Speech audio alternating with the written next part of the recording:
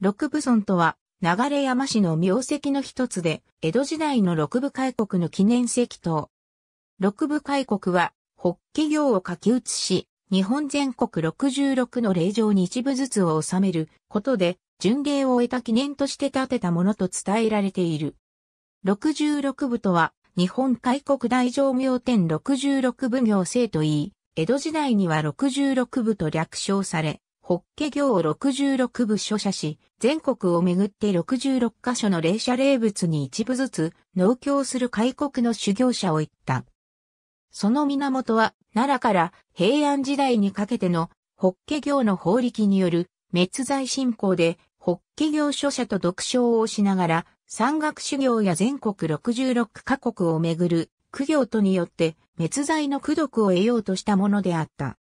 江戸時代になると新人で開国するというよりは、他人を殺めたとか、あるいは、富士の病のために村にいられない者が開国する例も多く、開国途中に行き倒れることもあった。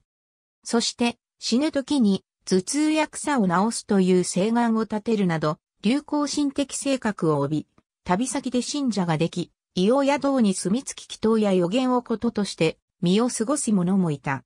その時信者によって実月生命、五国法上、大乗明天66部開国供養等なる石碑を建てたものを各地に見ることができる。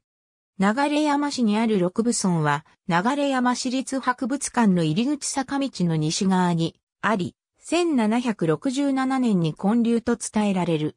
当時全国の霊場を暗夜していた行者が、暗夜の途中で不幸にもこの地で高い。そこで、人々は、供養のため六部開国島を増流して六部村として祭り、これを守る六部村道も建立されて、行者の供養が続けられたという。しかし、いつしか供養を続ける人もいなくなり、荒れ果てるにまさかされていた。そこで、昭和33年12月1日、六部村道は、有志の人々によって再建され、発起人やその家族を中心に供養が続けられた。